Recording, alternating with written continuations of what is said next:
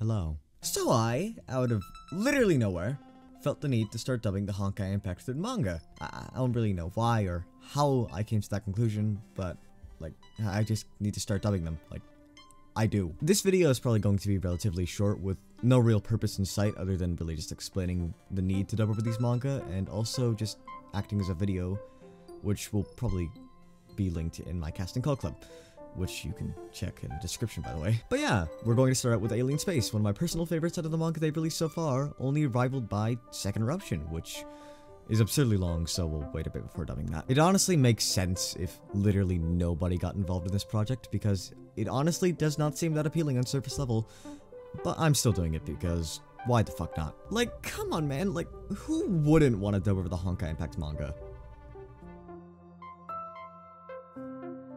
You know, on second thought, don't actually answer that question. But yeah, that covers today's video. Sorry for not uploading as much as of recent. It's likely going to stay this way until the Honkai Star Rail closed beta finishes up, and I can actually, you know, edit that all down into one video that no one's gonna watch, because no one's gonna watch my content after I haven't uploaded and only streamed for like a month. Still, I really hope you enjoyed this short segment, and yeah, that's all for me today. Hope you enjoyed, and uh, bye.